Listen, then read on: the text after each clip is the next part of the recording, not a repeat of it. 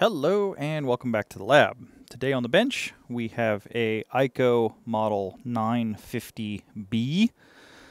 Um, this particular unit is going to get ref refurbished and sent back down to the Greenville Makerspace, which I have been working on refurbishing some gear so they could get some benches started for experimentation and building stuff. This particular unit is an Eico version to the Heathkit uh, IT28B, or no, IT28 that I have here in the lab. So I'm going to get this up and going for the makerspace. This one has a slightly lower voltage range than um, the IT28, but the voltage is infinitely variable, which I actually like a little bit better than the IT. The IT's got a step switch. This has a potentiometer. But we'll take this through we'll take this through a restoration and a full alignment, whatever that looks like through the uh, documentation. Not that I think they'll use the um, the capacitance bridge too much, but the uh, capacitor checker leakage test will be very useful down there. So, with that, let's get into it, get started, and see what we have. Uh, for this particular unit, I believe it's the eight screws on the face, and it'll pop out. Going to use the high-speed screwdriver for this one. Because it definitely makes getting into places where I'm not supposed to be a whole lot quicker.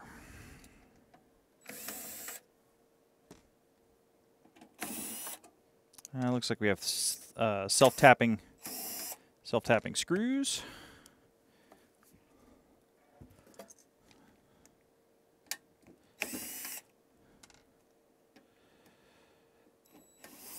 I do not recommend starting with a power power tools. I have oh nope, there's one in the back. I have been in lots of places. They definitely take a feel.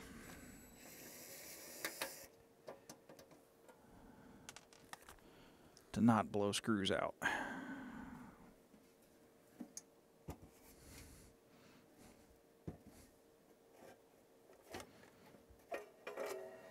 Oh, we are going to need to do some work. Oh boy.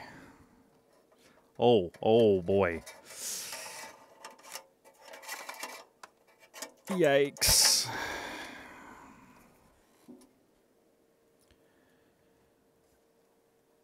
I'm glad I didn't turn this on before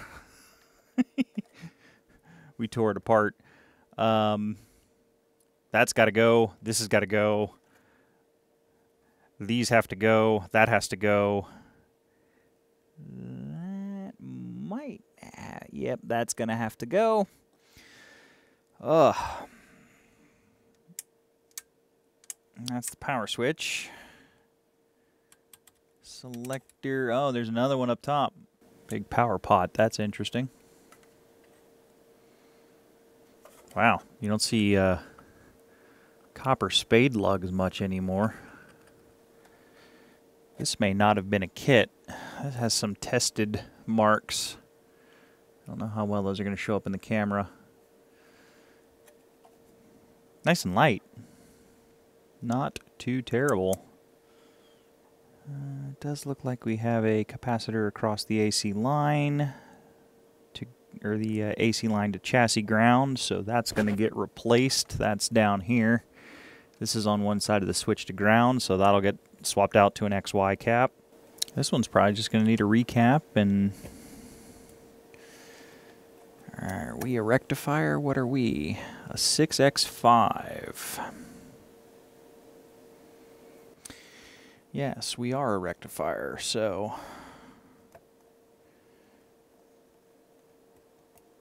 That's nice and tight. Nothing looks burnt, so like no uh, no resistors look fried up and charred, which is good, but we'll test their values too just to make sure. We have one domino cap here. That can stay. Do need to get this this guy out. That one's going to be fun. We'll make some room. I'll make some room where I can work on this one when this one gets swapped out to something much smaller. Um, for as big as this unit was, I was kind of expecting more in there. This uh, this is kind of um, not much going on. But let me get started, and uh, we'll get some caps replaced. Then we'll plug it in, and see if it works. Okay, working on the Eico, and we had to do some kind of crazy things. Uh, we have this block of caps here, which was this Chungus electrolytic cap. Uh, this was an 8 microfarad at 525 working volts DC. Now that got me a little nervous because typically you don't see working voltages that high on electrolytics. So I had a sneaking suspicion this was right up against the rail, or if not a little over the rail, because you could get away with that with um, electrolytics from back in the day. So we did some measuring, and I'll show you what ended up happening, but I ended up needing two 22 microfarad 400 volt caps in series.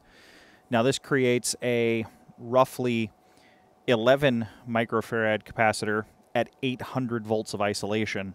These are also very good high quality caps.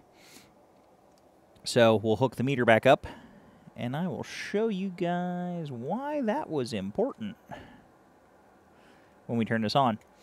Uh, the other cap that I've replaced, so I've pretty much done rebuilding the power supply in this unit, is this one down here. That was a, actually that was a West German capacitor, which you don't see very often.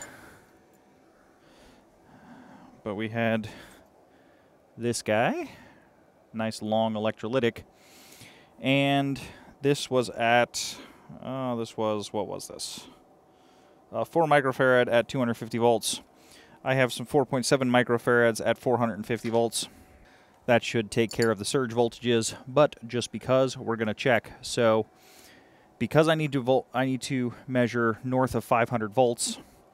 I've got the uh, 412A hooked up here, and I've got the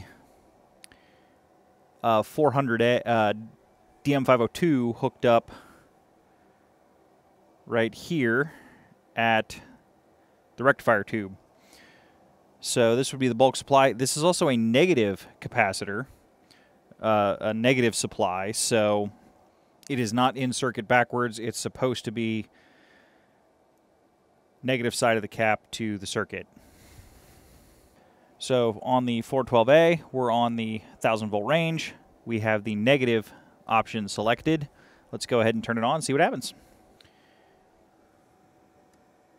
unit is now on and warming up. Now, to measure this correctly, we have a thousand volt scale, so we're at the top top scale. So right dead center will be about 500 volts, and this is actually kind of fooling because if you give it a second to let it finish charging, it's gonna drift just past the 500 volt mark, right about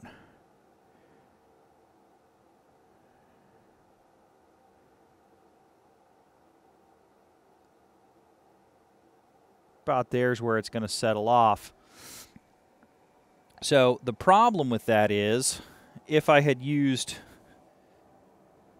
this capacitor, a 10 microfarad at 500 volts, we'd be sitting about 25, 35 volts high of its rated voltage. So even though that's a high quality capacitor, modern day capacitors are, are completely intolerant of overvoltage and it would not have lived very long there hence why we had to series up two capacitors. I did do some checking, and I did actually end up ordering a capacitor that would fit the bill just in case the series units didn't fit physically. Uh, it was $38 per cap. Very expensive for 600 volt electrolytic capacitors, and there were not many options, um, especially leaded. I can get some better caps if I go into the snap realm, but mounting a snap cap in this area of the circuit would be difficult to say the least. So, Uh, what's our off the rectifier tube looking like? Straight off the rectifier tube, we are at uh, 227, so that 450 volt cap will live there forever, and it won't be a problem. I'm going to let this cool off so we can check some surge voltage and see what it's going to look like when it's fully fired up. I have the meter set to 1,000 volts. Meter's going on. Climbing, yeah, we hit about three, 300. I think I saw about 350 when the unit was dead cold. So that 450 volt cap will live forever at 350. It won't care. So that's going to be good as the bulk supply off of the rectifier tube. That gets us into rebuilding the band switch and the big giant caps on the on the top side of the unit. I still need to replace those. I haven't done that yet. So a couple of more waxies to go. We got, let's see, five, I think, total.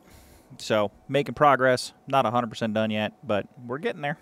Okay, here we are with all the capacitors replaced. Those guys, we've got this one over here, that one down there, and that one over there.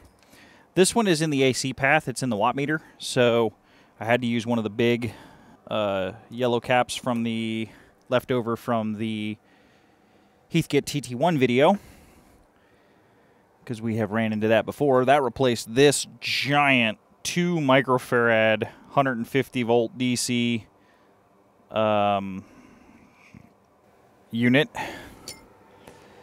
And then let's fire this up. See if we get any smoke. Hopefully we shouldn't. Uh, that's off. We'll pop in the rectifier tube. And let's go.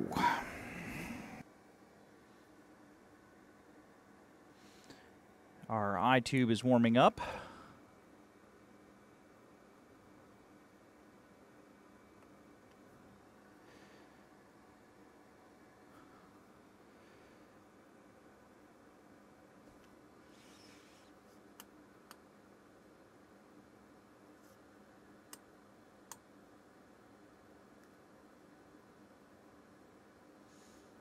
That's the resistance bridge.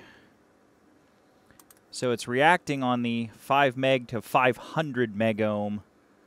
Uh, it's checking the resistance so we can actually, at 500 meg ohm, the eye's opening, and it's measuring the uh, leakage. So incredibly sensitive there. Let's check. Uh, well, let's check if um, Let's check a capacitor real quick. Let me go grab one. All right, let's drop it down. Oh, yeah, we can get the eye to open all the way. Uh,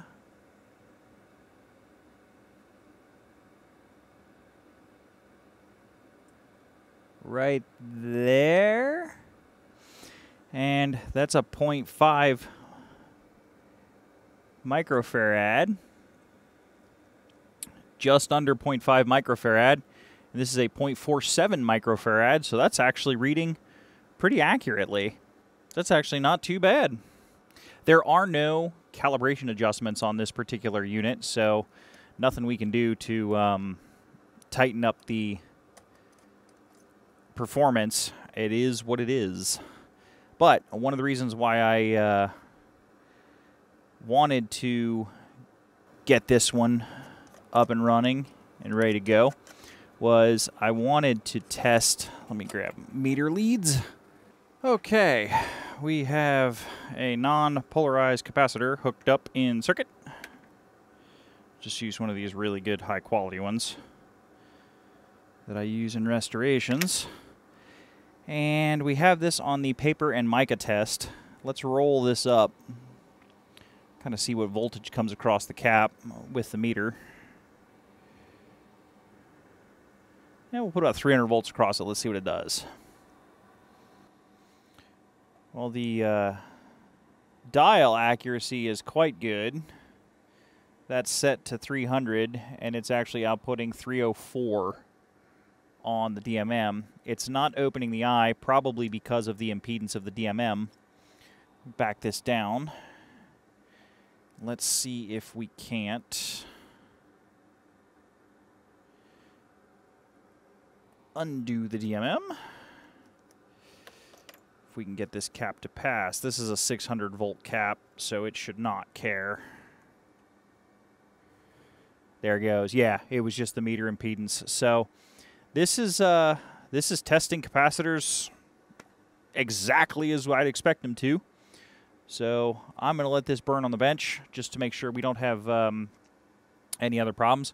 This looks like a very low unit, low time unit. The uh, eye tube on this one's very bright. I did not replace this, so I don't think this unit has seen a lot of time on it. But let me get it thrown back in the case, and um, well, I'll let it sit on the bench and cook for a while just to make sure we don't have any other problems. And then uh, it's ready to go back down to Tennessee. Okay, we're back in the case for some burn down testing. Uh, units right now is drawing about three and a half watts. Well, uh, well started up, so barely tickling the meter. I'm going to let this run for a while and uh, just make sure it doesn't have any problems. And if it doesn't, we will put this in the fixed to go back pile to the makerspace. We had one more thing to do before I buttoned everything back up because I doubled up that uh, power supply capacitor. I didn't want the uh, one cap doing all the work and the other cap sitting there bored. So I used one megohm balance resistors across the capacitors to even up the voltage. You can see the uh, meter leads connected there. We are have them connected in reverse polarity, so we are getting the correct polarity or a positive polarity on the meter. But as we can see on two meters, we have about 270 volts across the first cap and about 245 volts across the second cap. So they're both four, five, uh, 450 volt caps. So uh, they will live like that forever. It won't be a problem. So back in the case and let it keep burning. Okay, well, everything was good. Uh, the unit baked in all night, no problems. Not all night, uh, but for the rest of the evening no problems in the uh, current draw or anything else. So this one's ready to go back.